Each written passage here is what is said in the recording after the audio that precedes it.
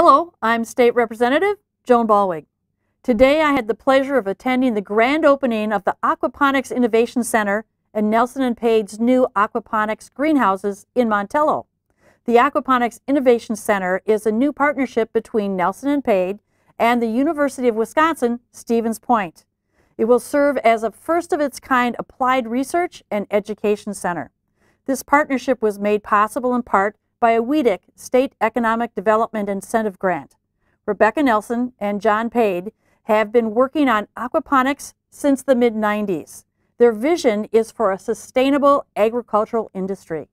Today's grand opening and ribbon cutting was well attended by community members, UW Stevens Point representatives, the Wisconsin state government, and UW system partners.